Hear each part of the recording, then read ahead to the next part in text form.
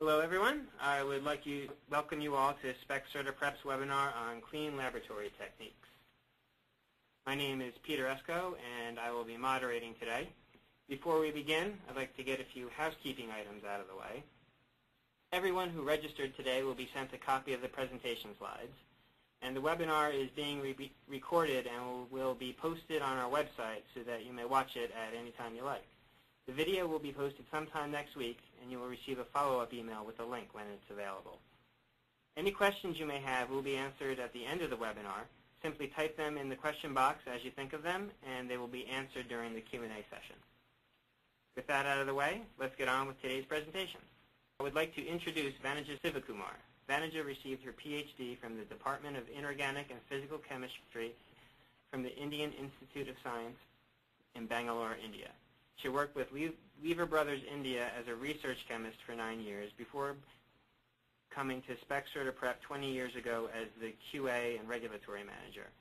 She is currently our Vice President of Manufacturing. Manager, I'll pass it off to you. Thank you, Peter. Hello, good afternoon, everybody. Accurate and precise measurements in an analytical lab not only depends on the skill of the analyst, but also on the environment and the tools we provide. Today, I'm going to talk about some of the techniques and tools that can be useful in analyzing the concentration of ultra-low level trace elements. Technology in the manufacture of instruments has evolved leaps and bounds in the past few decades detection limits have decreased tremendously. Instruments with these new innovative technologies can detect trace impurities in ppb, that is microgram per liter, or ppt, that's nanogram per liter, or even at quadrillion, parts per quadrillion, that is picogram per liter. Such instruments are of no use if we do not identify, minimize, or eliminate totally such impurities. The reason is these impurities can cause interference and produce inaccurate results. For accurate trace metal analysis at these low levels, we must avoid contaminating the reference materials and the reagents we use, samples we analyze, and most of all, minimize the contribution from the environment. How much is a part per billion or a trillion? These terms, parts per billion and parts per trillion, are abstract terms. We can understand this better if I express this in real units that are more familiar to us. Take, for instance, unit of time, second. One second in 32 years is one part per billion.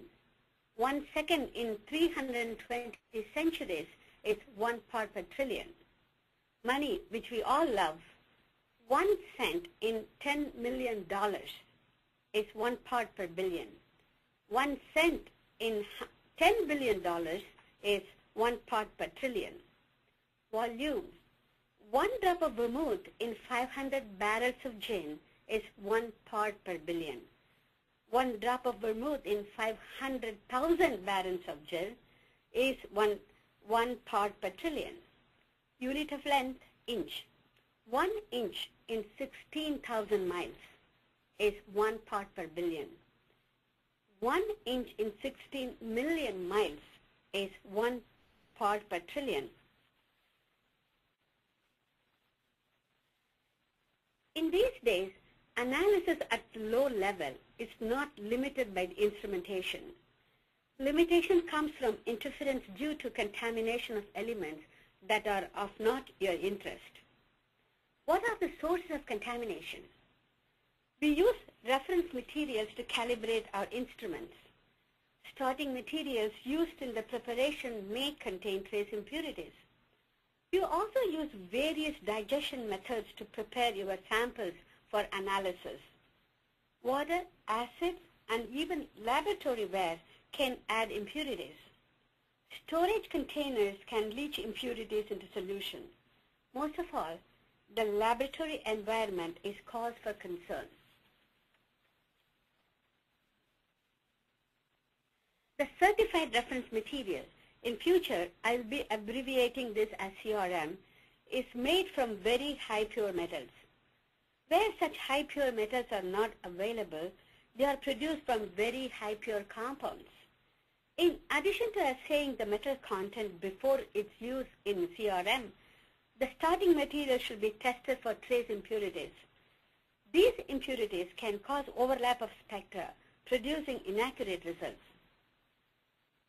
Besides these trace metal impurities, anions like chloride, fluoride, oxalate, and sulfate contaminants have to be identified because the presence of these ions can precipitate elements such as silver, lead, barium, and rare earth elements.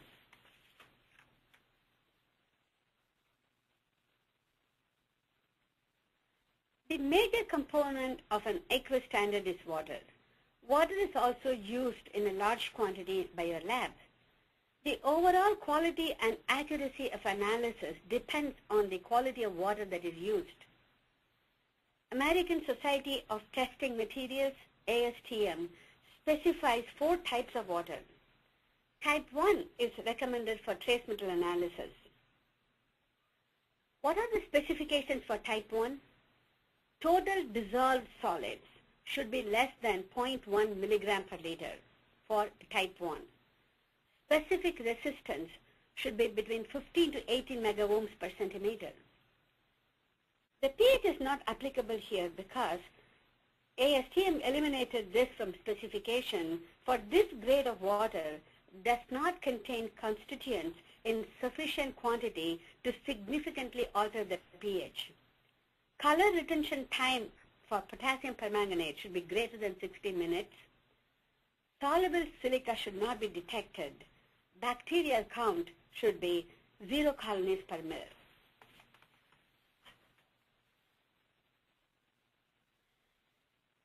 This shows the state-of-the-art ASTM Type 1 water system uh, used by SPEX CertiPrep. City water is pumped through a 10 micron filter and water softener tanks. Sodium is exchanged for hardness imparting calcium and magnesium. It then passes through a 5 micron filter and a UV disinfection process.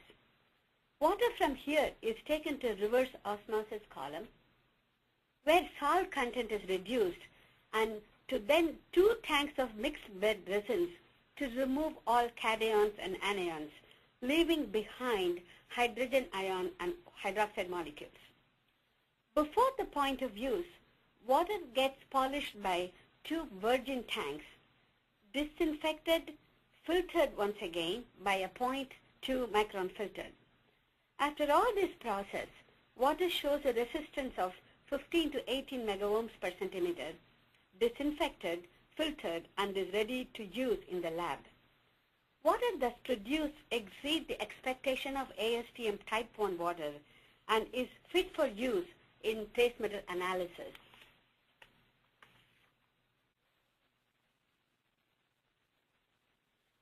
Acid play a major role in sample analysis. You use it for dissolution of materials or samples, for digestions and dilutions. Contaminants present in acids can contribute to erroneous results. Any part of the analytical process must use high purity acid. For example, if you use 5 ml of an acid with 100 ppb nickel diluted to 100 ml volume can introduce 5 ppb of nickel in the sample. Hence, you need a very high pure acids. But very high pure acids are 10 times more expensive than technical grade acids. An economic and effective way to produce ultra-high pure acid is to use a PTFE acid still.